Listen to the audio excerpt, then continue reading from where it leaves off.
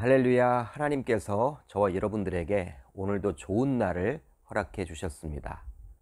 하나님의 뜻을 구하며 우리 주님과 동행하며 오늘 하루도 멋지게 살아갈 수 있기를 우리 주님의 이름으로 축원합니다.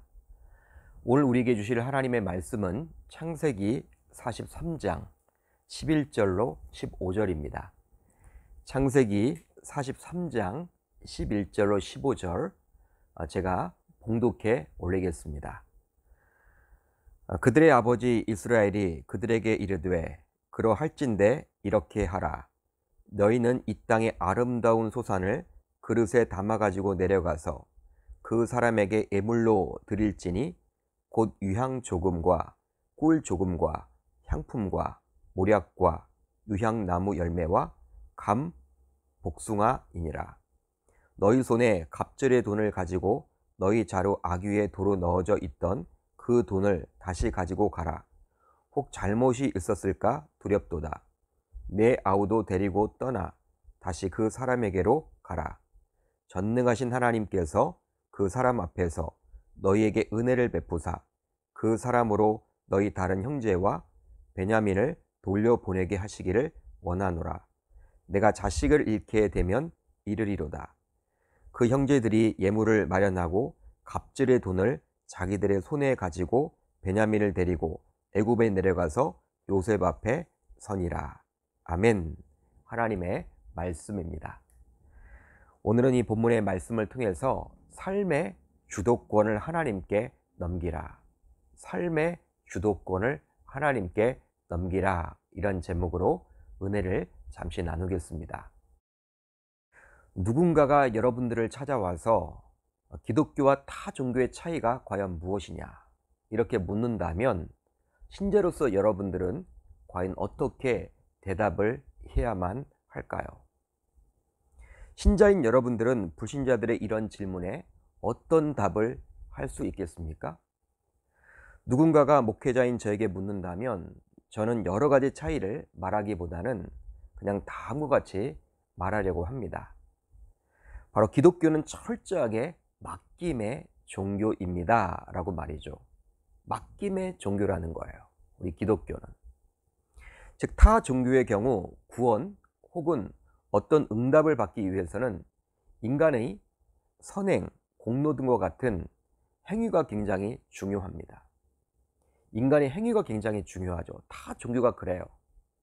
반면에 우리 기독교는 행위 구원이 아니라 철저하게 은혜의 구원이기에 인간이 어떤 선행과 공로보다 하나님께서 베풀어 주시는 그 은혜로 구원을 받게 되어 있습니다. 우리가 구원을 그렇게 받았죠. 우리의 어떤 행동과 우리의 어떤 선행과 우리의 어떤 노력으로 구원을 받은 것이 아니라 하나님께서 베풀어 주시는 전적인 은혜로 선물로 받게 된 거예요. 구원을 그렇게 받은 것이죠. 그러다 보니 우리 기독교는 우리의 신앙의 대상인 하나님께 자신의 모든 삶을 맡길 수 있어야만 합니다. 왜냐하면 아무리 우리 인간이 어떤 노력을 한다 하더라도 하나님께서 베풀어 주시는 은혜 없이는 결코 모든 일을 해나갈 수가 없기 때문이죠. 실제로 이번 코로나19를 통해서 우리들은 뼈저리게 그것을 느끼고 있죠. 철저하게 깨닫게 됩니다. 아무리 우리가 어떤 계획을 세운다 할지라도 주님께서 베풀어 주시는 그 은혜가 아니고서는 결코 그 계획이 이루어질 수 없음을 우리는 알고 있어요. 여러분 깨닫게 되는 것이죠. 이 코로나 상황 속에서. 저도 연초에 많은 목회 계획을 금년도에 세워놓았어요. 뭐 매달 달에는 무엇을 하고 매달 달은 이런 일들을 하고 여러 가지 계획을 세워놨습니다. 하지만 코로나로 인해서 할 수가 없게 되었어요. 아니 그동안 지극히 당연하게 드려왔던 예배조차도 온전하게 드릴 수 없게 되었으니 다른 사역은 엄두도 낼 수 없습니다. 따라서 신자라면 주님께 철저하게 자신의 모든 것을 맡겨야만 하는 거예요. 그러나 그럼에도 불구하고 우리 신자들의 경우 어떻습니까? 맡기지 못하는 경우가 종종 있죠. 맡기지 못하는 영역, 뭐라 할까요? 이 부분이 있다라는 거예요. 바로 끝까지 내려놓지 못하고 자신이 짊어지려고 하는 점이 있다라는 것입니다. 그것이 물질이든 그것이 자녀이든 그것이 명예이든 그것이 권력이든 심지어는 그것이 교회의 사역이든 말이죠. 이제 오늘 본문 안으로 들어가 보면 가나안 땅의 기근이 계속되었습니다. 결과적으로 애굽에서 가져왔던 그 곡식이 바닥나게 되자 이제 유다가 나서서 아버지인 야곱을 다시금 설득하게 돼요. 어제도 잠시 살펴봤지만 야곱은 자신의 막내인 베냐민을 놓지 못하고 붙들고 있으면서 하루하루 노심초사하면서 시간을 보냈어요. 그리고 끝까지 베냐민을 자신의 아들들에게 맡길 수 없노라고 다짐하고 결단을 했죠. 그런 내용에 대해서 어제 우리가 살펴봤습니다. 그러나 이제 시간이 흘렀고 43장 어, 1절로 2절을 보면 이렇게 시작을 하고 있죠. 그 땅의 기근이 심하고 그들이 애굽에서 가져온 곡물을 다 먹음에 그 아버지가 그들에게 이르되 다시 가서 우리를 위하여 양식을 조금 사오라. 그 땅의 기근이 심함에 그들이 애굽에서 가져온 곡식을 다 먹음에 아마도 야곱은 이 기근이 쉽게 끝날 줄 알았던 것 같아요. 그냥 버티면 된다. 그냥 시간 뭐 지나면 뭐 이후에는 이 기근이 사라지겠지. 이런 식으로 여겼던 것 같아요. 그래서 자신의 아들들의 의견, 즉 베냐민을 데리고 가겠다라는 것을 묵살해 버리고 말았죠. 그러나 이 기근은 7년 동안 지속될 기근이었기에 결국 쉽게 끝날 기근은 결코 아니었습니다. 결국 그것으로 인해서 야곱의 집안은 다시금 굶주리게 되었던 거예요. 그러기에 그 집안을 이끌고 있었던 가장인 야곱의 입장에서는 자신의 아들들에게 다시금 애굽에 내려가서 양식을 사오라고 요구하고 있는 것이죠. 굶어 죽게 생겼으니까. 여러분 그때를 놓치지 않고 이제 유다가 나서게 되는데요. 바로 유다는 반드시 막내 베냐민을 데려가야 한다라고 아버지를 설득하게 됩니다. 왜냐하면 애굽의 총리가 막내 동생을 데려오지 않으면 접견해 주지 않는다라고 이야기를 했거든요. 그런 말을 했었거든요. 그러기에 유다는 아버지가 막내 동생을 데려가는 것을 허락하면 형제인 자신들이 애굽에 다시 내려갈 수 있지만 아, 막내 동생과 함께 동행하는 것을 허락지 않으면 굳이 갈 필요가 없다. 이유가 없다. 가봤자 애굽의 총리를 만날 수도 없기에 양식을 구할 수도 없다. 어, 이렇게 아버지에게 이야기를 하고 있는 거예요. 단호하게 말을 하고 있는 것이죠. 이렇게 해서 또 한 번 아버지 야곱과 아들들 간의 설전이 벌어집니다. 즉 아버지인 야곱은 어떻게 해서든지 이 막내 아들인 베냐민을 보내지 않으려고 하고요. 또 아들의 입장에서는요. 아들들의 입장에서는 그냥 자신들끼리만 가서 될 일이 아니다. 그래서 이 막내 동생인 이 야곱에게 있었던 막내 아들인 이 베냐민을 데리고 가야만 한다. 어, 이렇게 지금 설전을 벌이고 있는 것이죠. 즉 결코 끝날지 않을 것만 같은 대치가 계속되었습니다.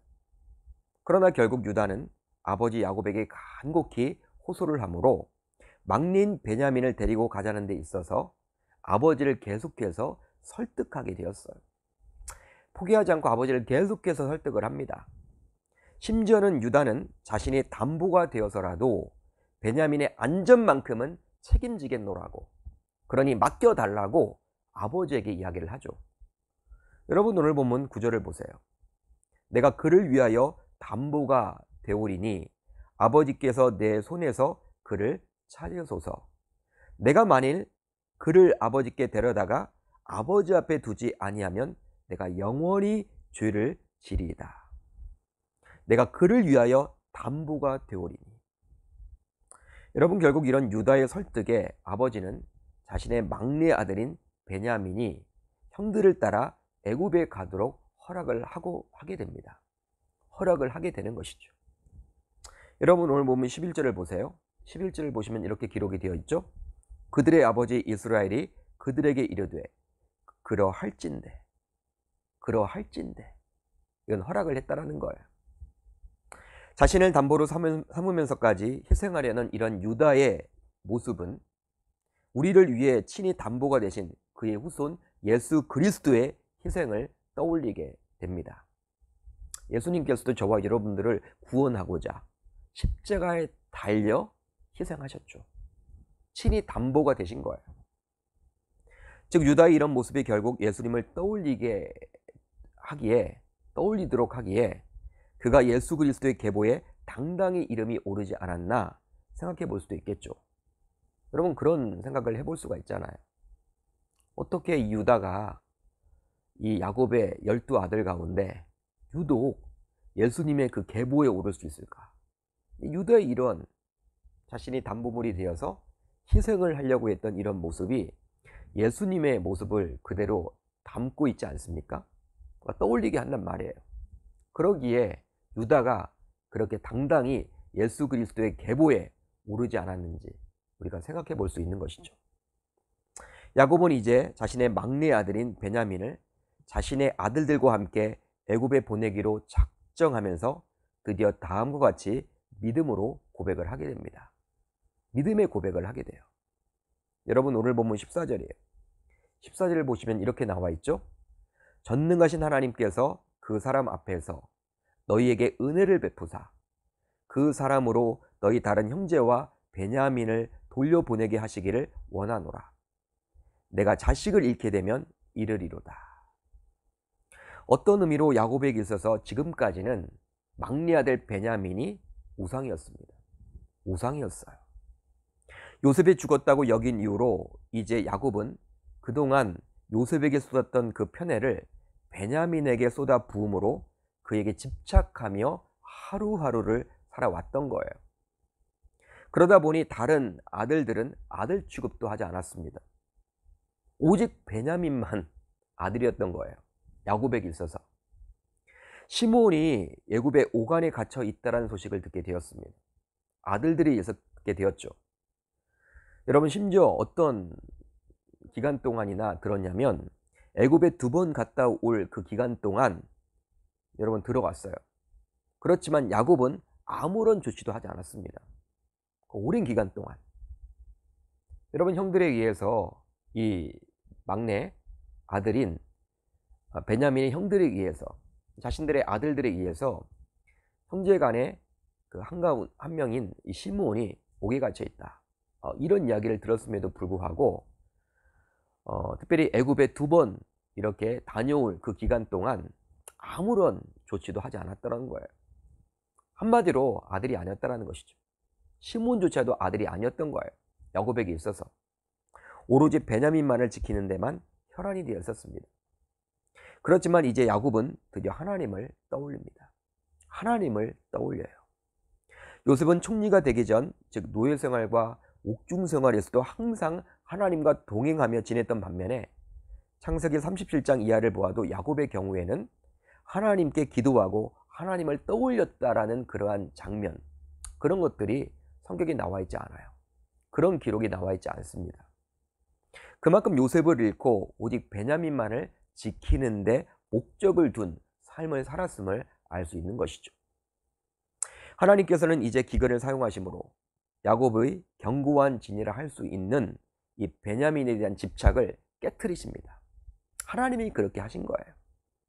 그러기에 이제 야곱은 드디어 전능하신 하나님을 떠올리면서 그 하나님께서 애굽의 총리 앞에서 아들들에게 은혜를 베풀어 주사 베냐민뿐만 아니라 또 다른 아들인 시므온도 돌아오기를 원한다라고 고백하게 되는 거예요.